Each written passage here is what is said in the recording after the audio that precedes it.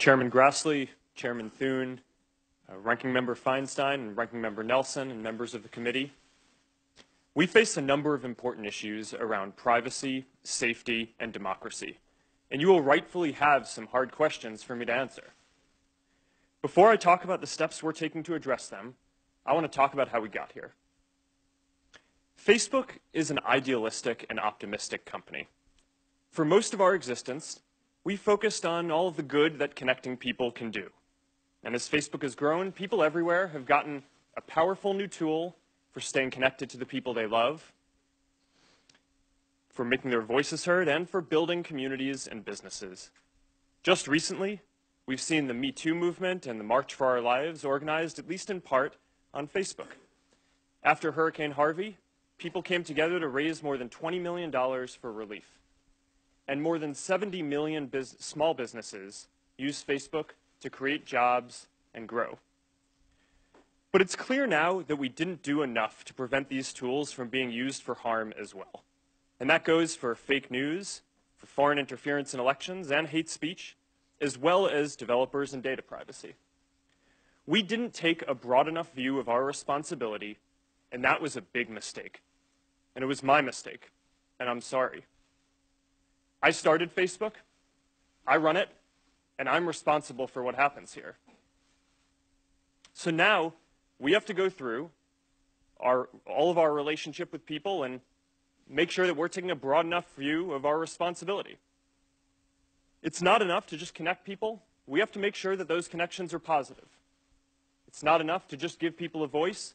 We need to make sure that people aren't using it to harm other people or to spread misinformation. And it's not enough to just give people control over their information.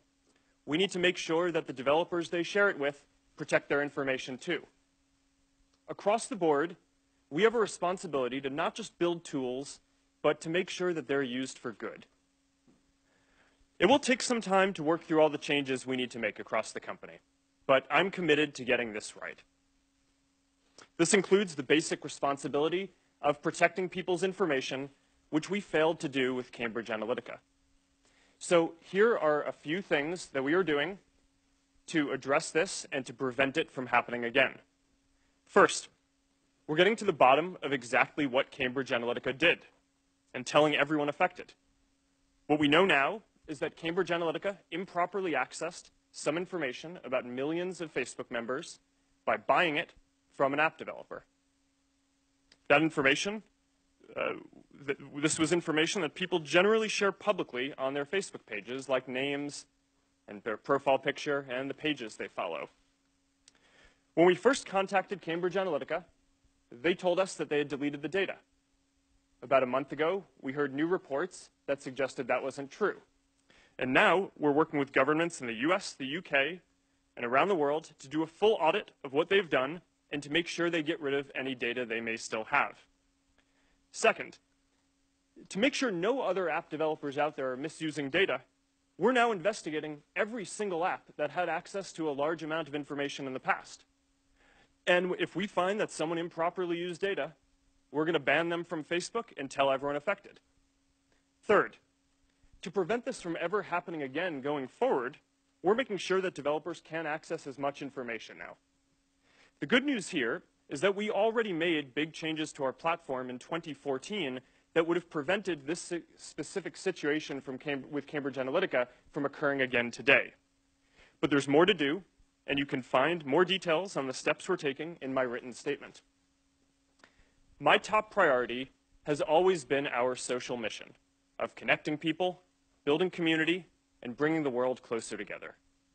Advertisers and developers will never take priority over that as long as I'm running Facebook. I started Facebook when I was in college. We've come a long way since then. We now serve more than 2 billion people around the world, and every day, people use our services to stay connected with the people that matter to them most.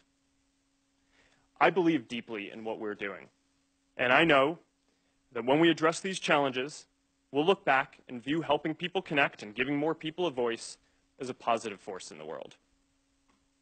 I realize the issues we're talking about today aren't just issues for Facebook and our community. They're issues and challenges for all of us as Americans.